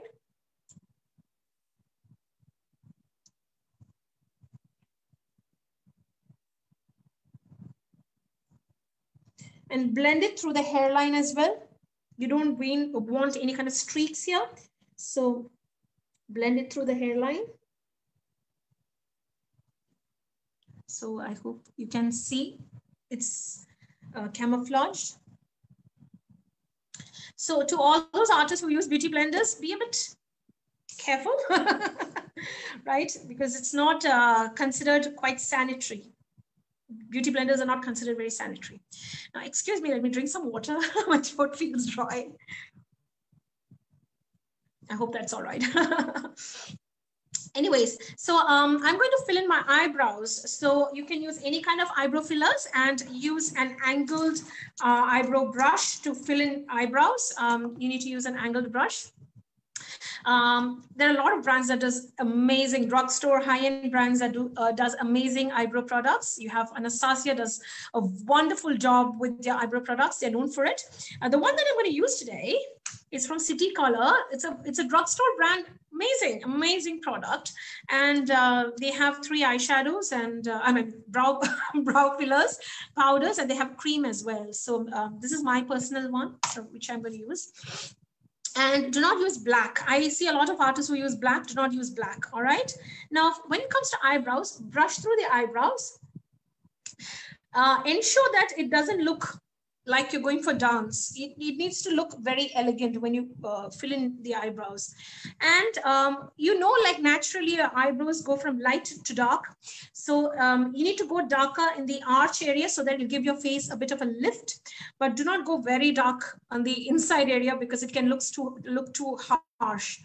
Now I'm just going to draw a small line here under the eyebrows. Now this is called a spoolie. So you can brush through if you want, uh, you know, just to um, blend it through. And I'm just going to draw a bit of line here. Forget the front area. Okay, I'm just going to work on the part where it's much more denser. Try and use brown or you can use, uh, we always say that uh, try and use an, uh, um, you know, a brow color, which is one tone lighter than your natural hair color. So that is, uh, that gives you a softer look do not use black. It doesn't give a softer look. It looks a bit harsh. And it can also give you like a kind of like a rude look, you know, it just makes you look like that. So you don't want that. so now the way a lot of uh, artists, you need to keep in mind where your eyebrows naturally needs to end. Now take your brush hold it uh, on this side, the, the, uh, this edge here, take a brush like that and hold. And this is where your eyebrows need to end, right? This is where your eyebrows need to end. And you see this edge here, this ridge here, this is where your eyebrows need to start. Okay, that's how you need to always keep that in mind when you work on a client, right?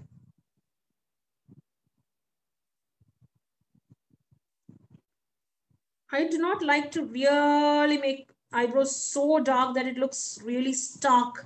But uh, when you do good eye makeup, eyebrows are very important. It frames your face. So it's very, very important.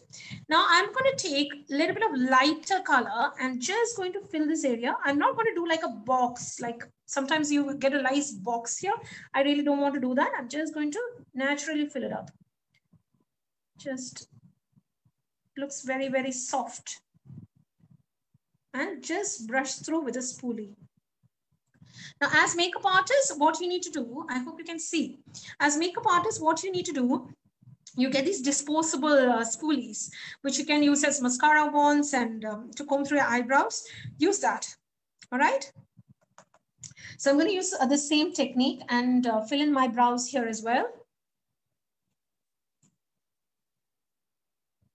In the meantime, if you have any questions, you can ask me by the time uh, I'm filling the brows, so you don't uh, want to miss out asking me anything.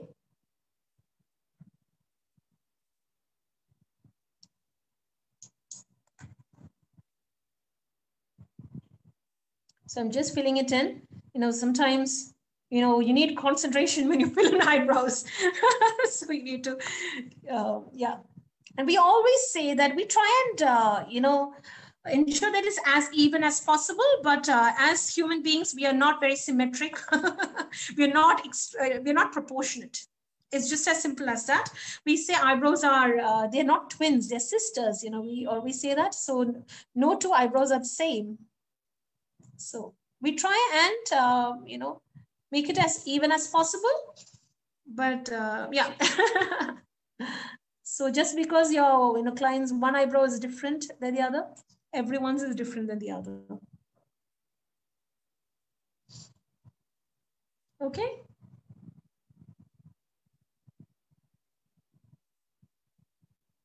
I've used a powder. You can use cream, you can have gels, you can use anything that you like. Um, you know, it just totally depends. You also have brow setting gels in a brow mascaras that you can use to set your eyebrows so that it doesn't move at all. For morning functions, like if you're working for a morning event or morning function, do not apply anything very, very dark on the eyebrows. It looks really a lot. Make it quite soft. Right, I hope you can see.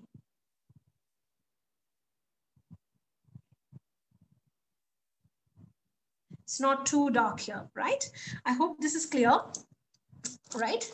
And um, now I'm going to finish off the rest of the stuff. Now I want to apply my concealer and my eyeliner as well. So what I'm going to do is I'm going to take my Inglot gel liner, which is my favorite gel liner. If you're looking for a very good gel liner, take Inglot gel liner. It's black as as hell.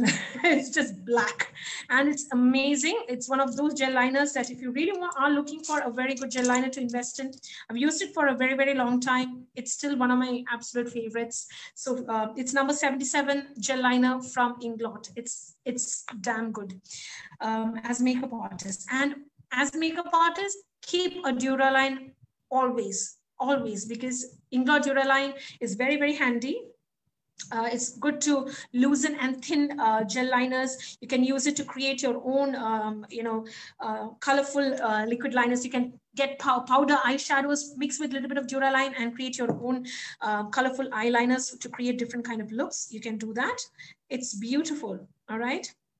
Now, when you work in the field, uh, you know, when you work uh, on a client, uh, you need to take a little bit of gel liner uh, on a spatula, put it on a steel palette and use. Now, this is mine, so I can use it. But if you're working, you need to scrape a little bit of gel liner on uh, using a spatula, pop it onto a steel palette and use it from there. Do not just dip your brush here and use. Don't do that, yeah? So I've just applied a bit of Duraline so that it's a little more thin so that's a little more smoother. And I'm going to apply, and this is a Zoeva brush, uh, and I'm going to just apply my um, liner.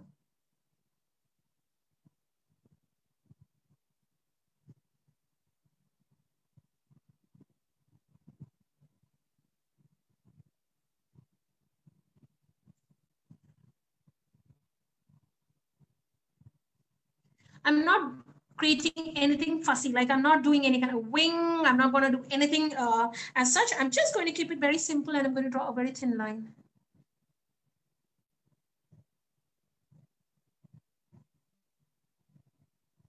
You want your eyeshadow to stand out. But if you really want to draw wing you can.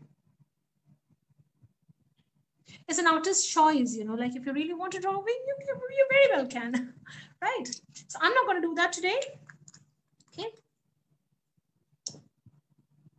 All right, so I'm just going to let my Duraline dry a bit. And uh, now I'm going to take a concealer. And I have two concealers here. One is light, one is a bit dark. Um, I have Estee Lauder Double Wear Concealer in 3W uh, medium, which is good for me. And I have Too Faced um, shade in medium as well. And um, just to brighten slightly on the light side, do not apply very light concealers under your eyes. It can look ashy. Don't do that. Now, I see a lot of artists who overuse and over apply concealers. Don't You don't need too much concealer. I'll show you how to apply a concealer. So I'm going to take a little bit of concealer.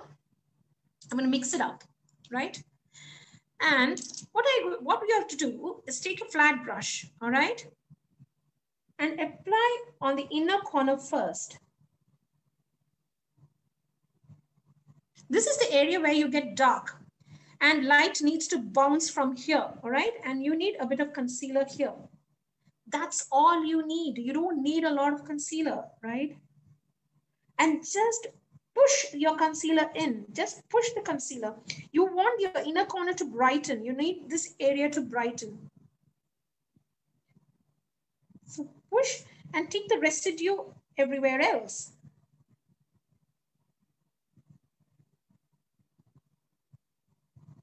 You don't need all that triangles, all that every single time. You don't need it.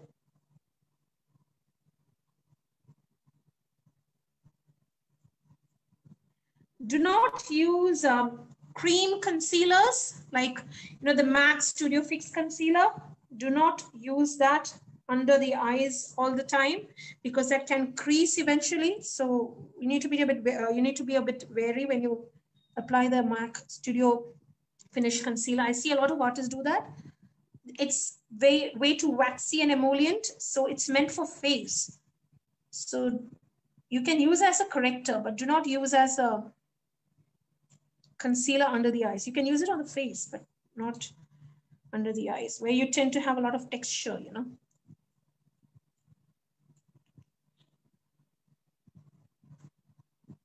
I hope you can see. Just dab, just dab, dab, dab, dab. Push the product there. You can also use your fingers or use a flat brush. This is a flat foundation brush. It's perfect for applying concealers.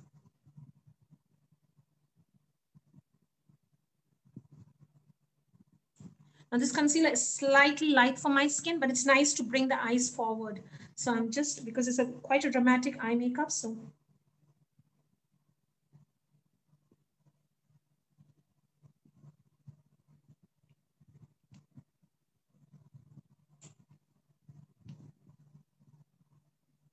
I'm just dabbing it.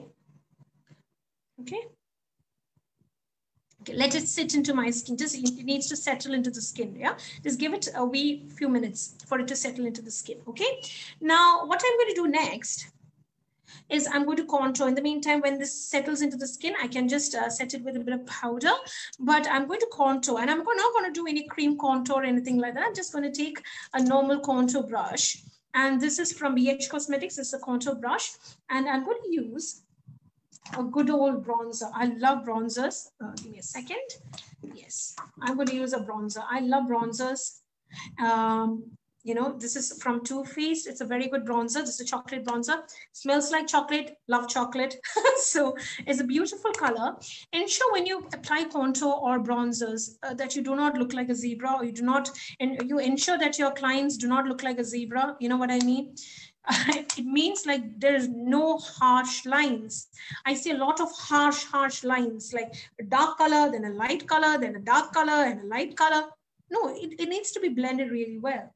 So I'm just going to take a bit of contour. I'm just going to place. Now, if you see, I have, I have double chin. I have every layer you can possibly count. I have a couple of layers on my face. So I really need contour. So I'm just going to contour, but I'm not going to contour too much because yeah, I really don't want. I want my face shape to be the way it is.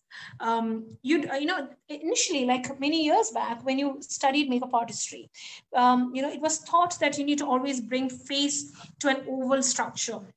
But now it's all about inclusivity, inclusivity of skin tones, inclusivity, and uh, and appreciating everyone for their own ethnicity and beauty and face shape and everything. So you don't need to change the face symmetry and structure to bring it into oval. You can actually, uh, you know, balance it or bring dimensions, but do not need to literally bring a person's face into oval, right? So I'm just going to contour just slightly. I don't want too much. So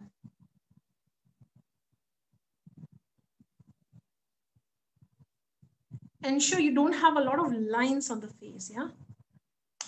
Always tap off excess product. Do not apply too much product. And do not bring anything too dark here. Don't. This area, you have to be very careful when you work the central portion of your face. Do not uh, bring anything too dark. And I'm going to contour this area which is required. Now, when I go do like let's say I'm doing a heavier makeup whereby I'm doing a, a, heavier contouring and stuff, I will use a cream contour to bring this, uh, get this area in because I have a lot of skin here. So I might use a cream to bring this area inside. So it recedes, this area would recede when you, you contour, you know, so.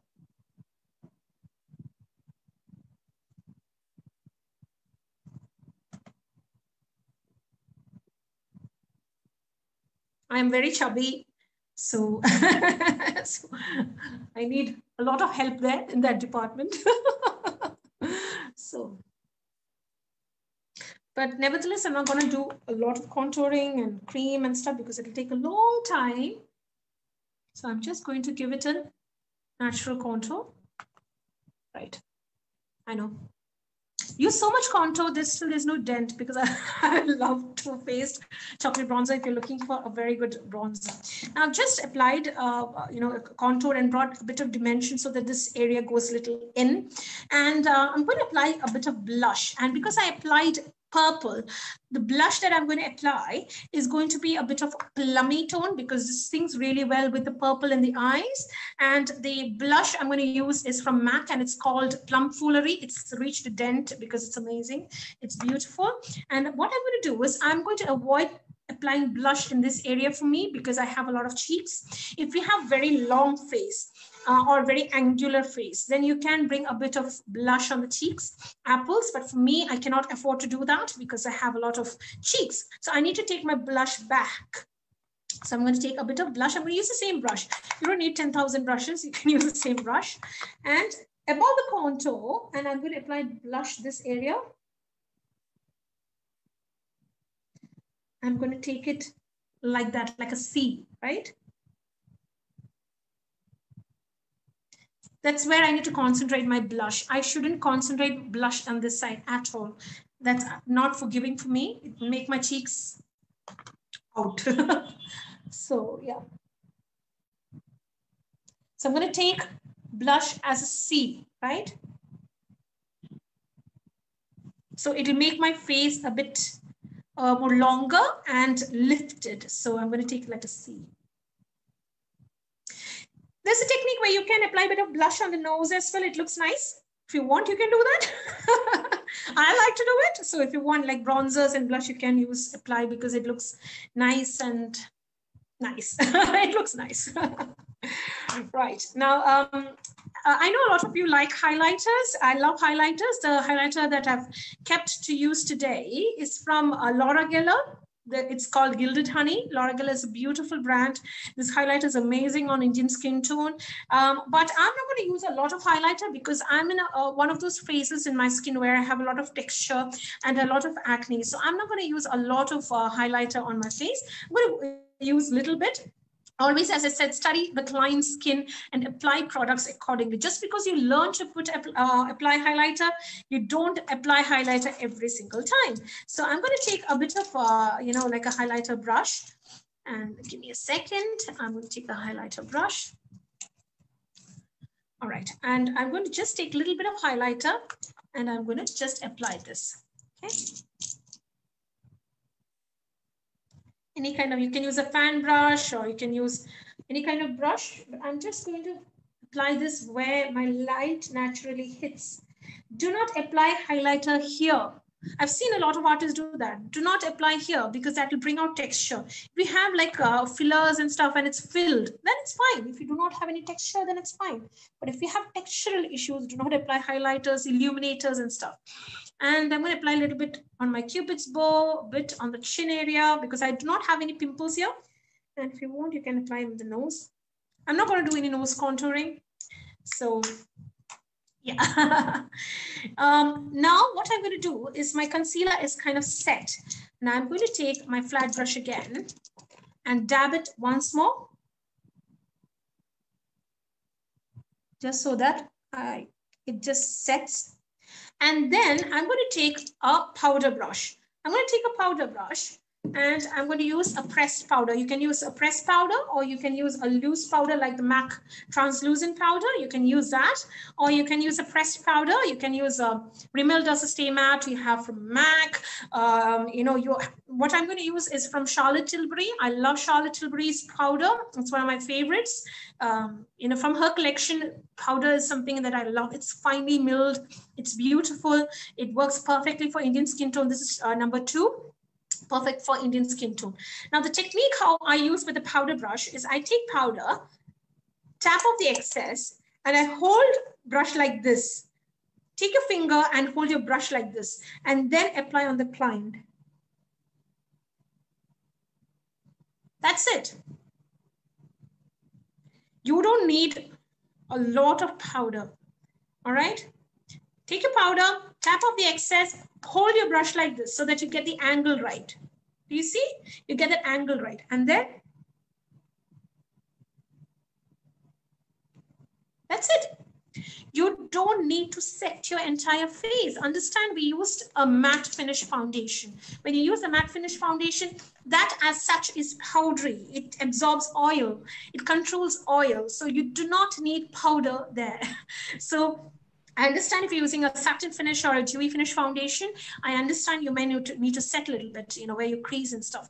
But if you don't, uh, you know, if you use a matte foundation, you don't need it, all right? Now, um, what I'm going to do is I'm going to take a kajal I love Kajal pencils. I hope you love Kajal pencils as well. You can use uh, a nude eyeliner. If you like a nude eyeliner, you can use that. Um, I'm going to use a Kajal because uh, I'm going to make it really smoky. So I'm going to use a nice black Kajal. Any questions, uh, Payal? Uh, let me just check. Uh, so we have a question where someone asked, uh, how important is lighting and how to maneuver lighting while uh, while uh, doing a makeup look? It's always important when you do makeup that you, you work in daylight. I think that's the most important thing. Don't see like I would always give an, an analogy where I know I ask students, you know, when you wear go to buy sari blouses when you go to a shop to buy sari blouses. Uh, you always check your sari and your blouse and you do not buy it in the store light you always take it to the nearest place where you see daylight so that because most most of us have had blunders whereby we buy the blouse and we go home and you're like it's a completely different color. Now that's the same thing that happens when it comes to foundation as well. You need to always ensure there is daylight or we call it neutral light.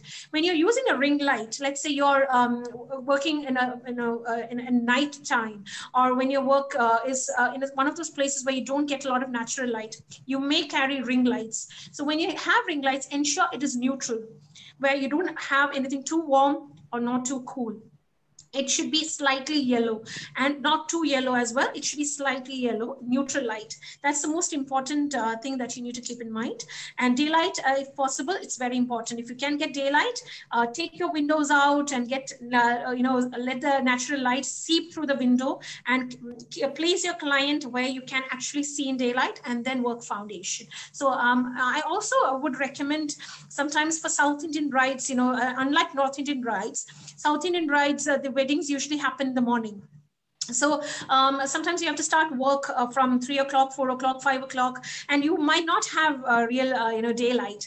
And by seven, seven thirty, you need to get your bride up and ready. So uh, I would say, you know, finish your hairstyling, finish, uh, put a nice base, and uh, you know, do not finish the base do your eye makeup, finish your lip and everything, and then check when your sun starts coming out, you know, just check in daylight how whether the foundation has oxidized, whether the foundation looks neat in daylight, and then do your finishing touches, you know, whereby you want to brighten the area, you can use a bit of a lighter foundation, just, you know, just on the center portion of your face, just buff the foundation in, it will brighten the area up, and uh, just check, you know, how you can, um, you know, tweak uh, when it comes to daylight. If you think the foundation looks a bit ashy in daylight, take your bronzer, take your bronzer and just, uh, you know, uh, just apply it on uh, perimeters where naturally light touches. So you can just neutralize the tones. So this is how you have to keep it in mind as a makeup artist.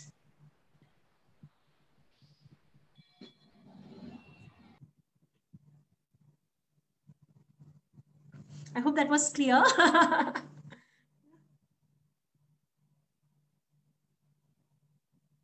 I've just applied uh, Kajal and the one that I've used is an amazing Kajal. It's very affordable.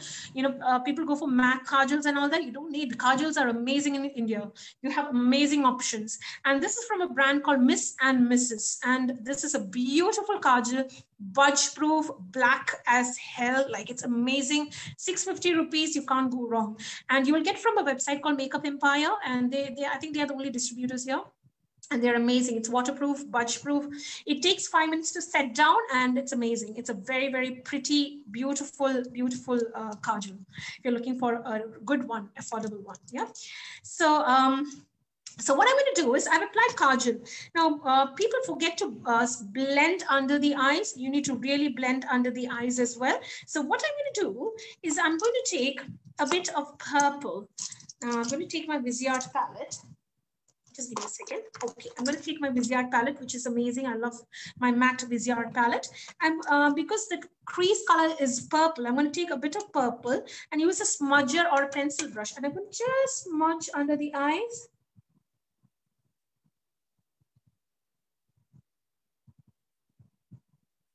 Smudging under your eyes is very, very important if you want your eyes to really stand out and look really, really nice.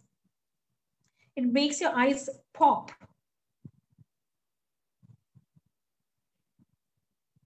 So it really, like you can see the difference. This eye looks really small because I've just drawn in the waterline. But when you apply and smudge through the lash line, it makes your eyes really stand out. So I've used purple because that's the whole thing uh, in today's look, right? We're using a lot of purple. So I've just used purple Another trick, what you can use for a look like this is where you use black and brown and smudge on your lash line. And on the waterline, you can use a nude eyeliner or you can use a purple eyeliner and you can get that whole look as well. It just depends on your creativity and how, and how far you want to take your look. So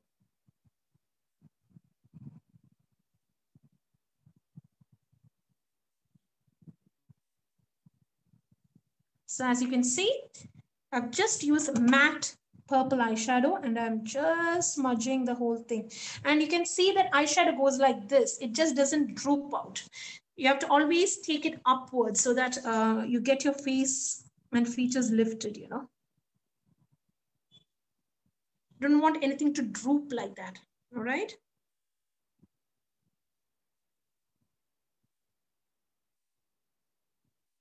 And now what I'm going to do is I'm going to take the my good old blending brush, good old blending brush, and a bit of purple that I've used. And I'm just going to place it here. Like I'm just tapping off the excess. I'm just going to go like, as you can see, it goes like that. So I'm going to take that matte purple, not any shimmers. Don't use any shimmers. You just want to smoke it out. So just here. Bit of purple. So it goes like that. It gives eyes a very sexy kind of look, you know. You don't want it to look patchy. It just needs to go like, foo. It goes like that, you know, that's the animated version of how you want it to look. So it has to go like, foo. All right. So I hope that was helpful. All right. So um, what I'm going to do is I'm going to take a bit of my highlighter and I'm going to pop it uh, in the inner corner of my eyes as well, just to make my eyes stand out a little more. So I'm just going to pop a bit of highlighter the inner corner so it can really uh, make your eyes um, look open. So you know, apply a little bit here. We have darkness and light bounces from that area, you know. And I'm going to take a little bit on this area where you have this arch, you know. So I'm just applying a little bit here. Don't want to take it here. You really don't want to take it here. It's This is the area where light bounces. So you want your eyebrows to lift. Now, if you want your eyebrows to, again, you know, sh look sharp, you can take your cream foundations or cream concealers and you can sharpen this area up. I mean, it, it just depends. If you want, you can do that. I'm not going to do that. Um, now, what I'm going to do is I'm going to just take my tissue and just blot excess uh, lip balm that I may have. My lips look soft and it's ready uh, for my lip routine. So I'm just going to take my foundation brush, no excess foundation. I'm just going to blend it over my lips.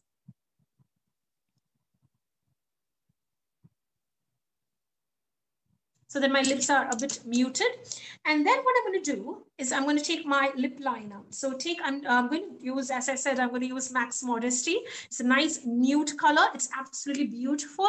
It's perfect for people with uh, warm undertones and it's good for people with fair to medium skin tones. If you have anything above NC 35, this is not something I would suggest. You can go for shades like Twig or, um, uh, you know, Twig is a very nice color. Spirit is a very nice color. So you can use anything like that. Um, you know, when you have Whirl is a very nice color. If you have anything above NC 35. Now, if you are below NC 35, Modesty is a beautiful new color. And uh, you need to pair it with a nice brown lip liner all right? So i'm going to uh, draw my lips and ensure your uh, you know lip liner is sharp. Do not use unsharpened pencils on your client. You need to always sharpen each after each and every client and sanitize it using isopropyl alcohol. Uh, see i always say when it comes to makeup artistry it's not just about applying products. It's the protocols and principles by which you apply the method by which you sanitize clean and use products on a client that matters. So that's very important as makeup artists uh, i hope you will remember that always yeah?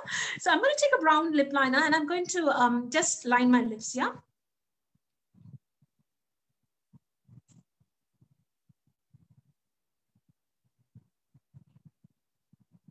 I draw over my cupid's bow and that's just how I've done over the past many years. So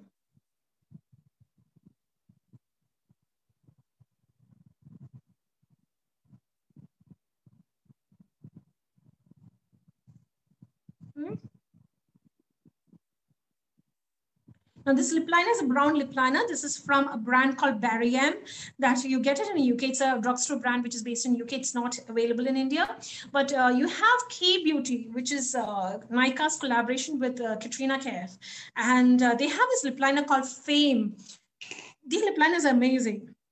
And there's a lip liner called Fame from Kay Beauty. It's beautiful. And Cork, there's a lip liner from MAC called Cork. It's a very nice lip liner as well. So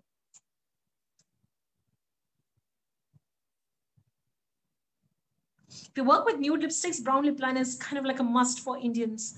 So.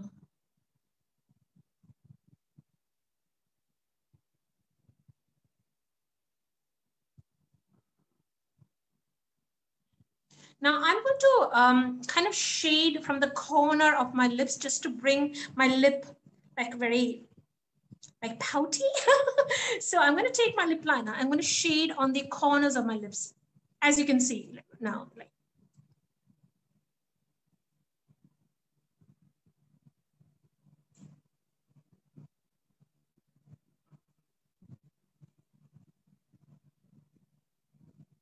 This brings shadow here and makes this area stand out. So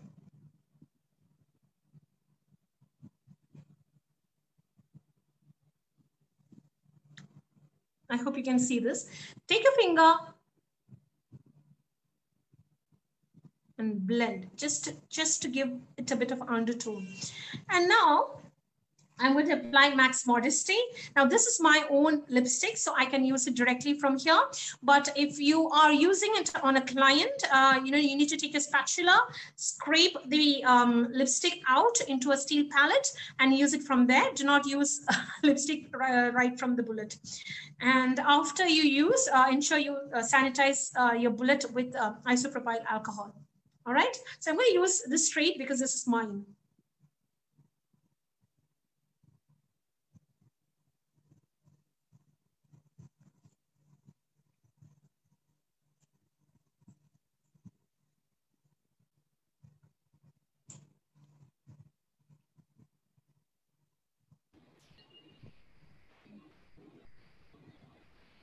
It's a very pretty nude color. And uh, what I'm going to do is, now I've applied my uh, lipstick, which is Modesty. And uh, what I'm going to do is I'm going to take a flat concealer brush. Give me a second. Any questions, Payal, in, in, in between? Uh, give me a second. You can very well let me. If you have any questions uh, to all the viewers, like feel free to ask me. Please do not have any, you know, hitch hitch out like, you know, what's she going to think or anything. I'm an educator, so you can very well ask me questions. Feel free. okay.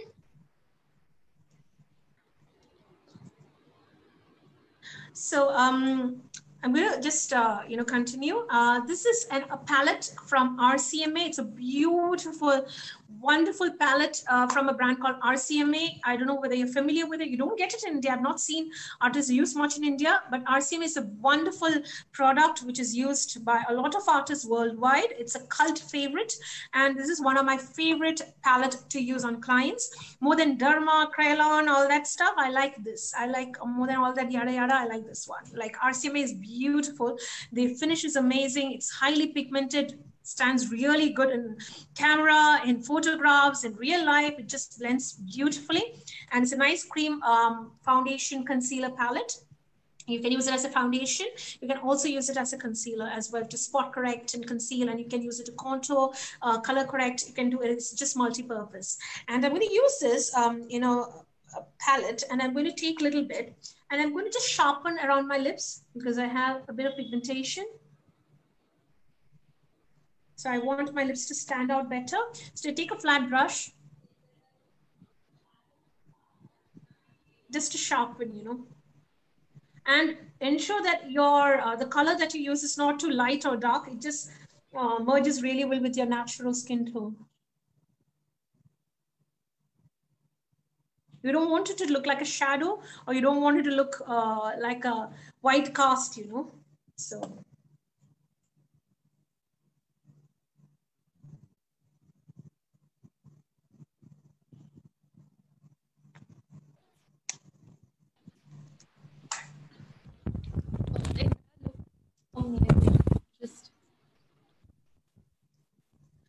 Um, this lipstick is quite creamy. It's not uh, matte. It's quite creamy. It's got like a creamy uh, satin finish. Uh, so this will transfer if you're wearing a mask. This is something that you need to consider because mask is something which is part of our daily lifestyle now. And when you wear, uh, work on brides as well, you have to consider that. Uh, you need to blot and make the uh, lipstick matte uh, when you're, if the bride has to wear a mask, all right? Or use a mattifying lipstick. Um, I like to wear, you know, nude lipsticks with a bit of gloss, but it transfers. If there's a mask, don't do this technique at all. It'll transfer to the mask. But uh, just in case, I'll show you how to wear a gloss. And this is from a brand called, um, this is called uh, Soap, Soap and Glory. It's a beautiful brand, Soap and Glory. And this is the Sexy Mother Pucker lip gloss. This is like a, uh, you know, it kind of fills your lips and makes your lips a little more pouty. So it's kind of like a, mm, it gives you a tingly feeling. it makes your lips a bit more pouty. I don't know about the pouty feeling, but it's nice. It's a nice feeling. I like it. So, and this color is called, spun sugar. Now something similar you can get from MAC and it's called Oyster Girl. It's a very similar color. So you can, you don't get Soap and Glory in India, unfortunately, but you can get um, MAC's Oyster Girl, which is amazing. So when you apply gloss, do not apply all over the lips, just apply in the center portion. So yeah, just in the central portion.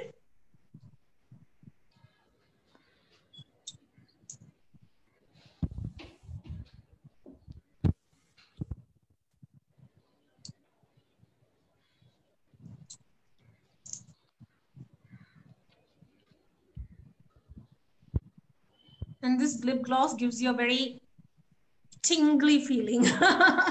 it's like you have just chewed some mint and uh, it's just touched your lips. It actually says, you know, it just promotes blood flow into your lips and makes it a little pouty. I know, don't know about that, but it looks nice. it's a nice color. So um, so this is what I've done.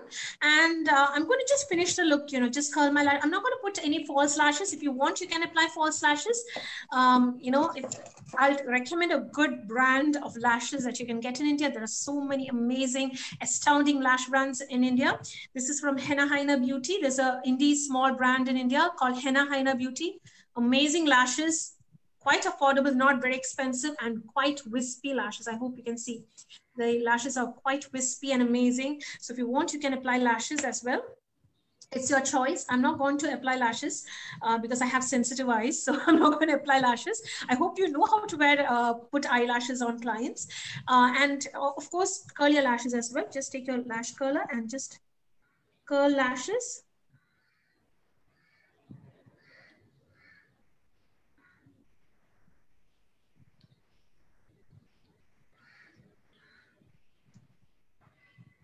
And then you need to put your mascara. Now, as a makeup artist, this is one of the most important thing that you need to keep in mind. Mascaras expire every three months, and you should not use mascara wand from a normal mascara on a client. You need to use your single-use disposable mascara wands, and you need to apply use that on a client. Do not use you know, cross-contaminate product on a client. You do not do that. This is a COVID situation, so you need to keep, be very wary about all these things. Yeah. So I'm going to take. A, uh, this is my own mascara. This is from Too Faced, and this is called Damn Girl. So I'm going to apply it on my upper lashes. And because I have sensitive eyes, I've not tight lined my eyes. But if you work on a client, try and tight line on your eyes as well. You know, just um, the same tight line on the waterline. It would be amazing. That'll give you a nice look. But for me, I have a little bit of sensitivity now. So I've just not tight lined. Wiggle and take the mascara wand up. Wiggle, coat every bit of lash lashes can actually take uh, make or break a look you know. So if you really do very good uh, lash job your eyes will really stand out in photographs in real life.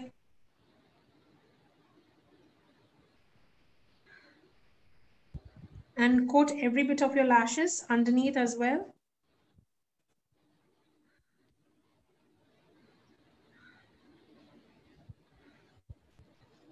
When you use disposable uh, wands on a client, you do not dip it again and use it on a client. You just dip and then you use throw it off. You want more mascara, take another wand, you pick it up again, and then you use, yeah?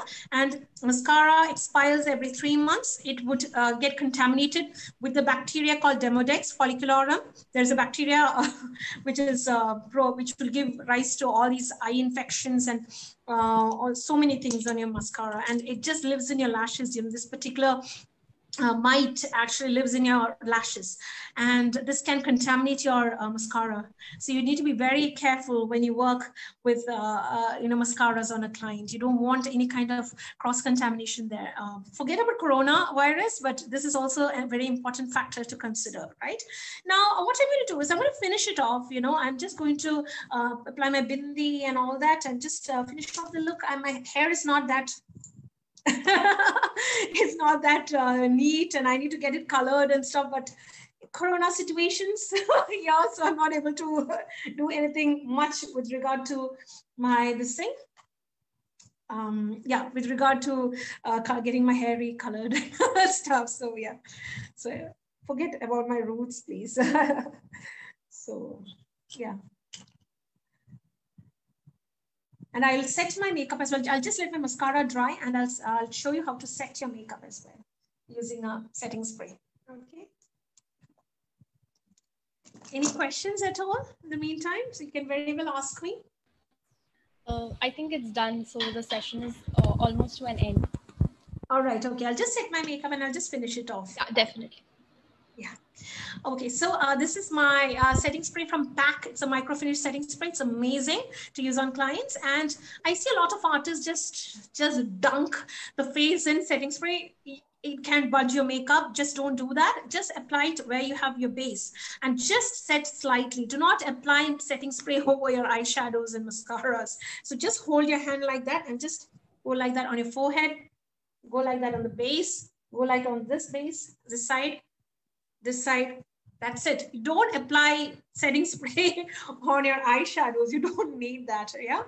Um, and I'll just let it rest uh, for five minutes. And meantime, I'll just wear my, uh, you know, I'll just apply my um, earring or anything like that so that you will see the look. Um, I hope you can see my eye makeup clearly um, through this thing.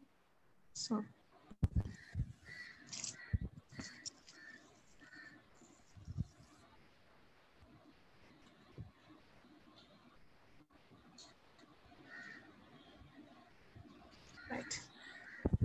Uh, so Lekshmi, that was a great session. Thank you so much. Uh, we'd like to thank you for uh, being on our platform. And no I'm sure the audience loved the session. It looks stunning. So thank you. Uh, thank you for everyone who tuned in and uh, we shall see you in the next session. Thank you very much, uh, Payal, for coordinating everything. And thank you to all the viewers. I hope the session was helpful and you have taken down tips and tricks and I've been of help to you. Uh, please do try out the look and, um, you know, learn, evolve and do a wonderful job where you get a lot of clients and make a lot of clients happy. Wish you all the very best.